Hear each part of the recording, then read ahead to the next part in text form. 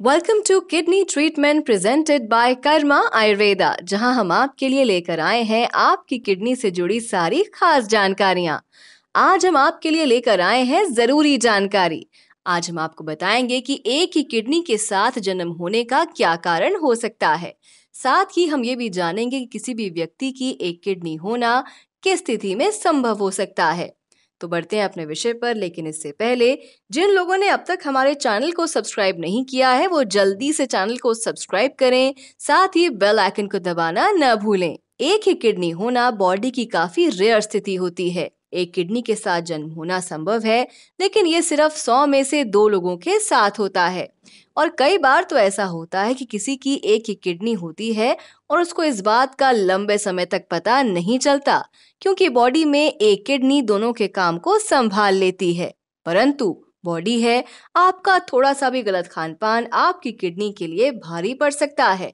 और किडनी में आई खराबी के लिए जब आप अल्ट्रासाउंड करवाते हैं, तब जाकर इस बात का पता चलता है कि बॉडी में एक ही किडनी है।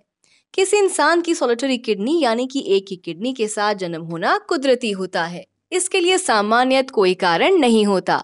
लेकिन जन्म के बाद किसी की अगर एक किडनी हो तो इसके कुछ खास कारण हो सकते हैं। जिनकी किडनी में खराबी आ जाती है और वो किडनी के किसी गंभीर रोग जैसे किडनी कैंसर, किडनी संक्रमण, किडनी सिस्ट या किसी दुर्घटना में किडनी पूरी तरह डैमेज हो जाए तो उन्हें सर्जरी से अपनी किडनी निकलवानी पड़ जाती है। तो ये एक स्थिति है जिसमें व्यक्ति एक किडनी के साथ अपना बाकी का जीवन व्यतीत करता है या फिर बॉडी की ये स्थिति जिसमें मनुष्य का जन्म ही एक किडनी के साथ हुआ है तो भी व्यक्ति को अपना जीवन एक किडनी के सहारे जीना पड़ता है।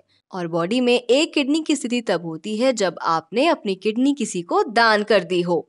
तो शरीर की इन सभी स्थितियों में मानव जीवन एक ही किडनी के साथ यापन करना पड़ सकता है। जब किसी की एक ही किडनी होती है तो फिर जीवन शैली में काफ़ी सारे बदलाव करने होते हैं, जिसमें सबसे ज़रूरी है आहार, क्योंकि गलत आहार का चुनाव आपके शरीर में परेशानी दे सकता है। जिनकी एक किडनी होती है, उन्हें अपने जीवन में कुछ बदलाव करने की ज़रूरत होती है। जीवन में करें उन चीज़ों को शामिल जो रखें आपकी हेल्थ को चुस्त। न करें उन चीज़ों का सेवन जो बढ़ाएँ आपके जीवन में बाधाएँ। रखें क्रिटेनाइन को अपने शरीर में कंट्रोल अच्छा खाएँ, स्वस्थ खाएँ और बनाएँ अपने जीवन को रोग मुक्त अगर आपकी किडनी में कोई भी समस्या है तो इसको अनदेखा न करें और अगर आप अपनी किडनी के लिए कोई इलाज लेना चाहती हैं तो आयुर्वेदिक इलाज सबसे सुरक्षित है।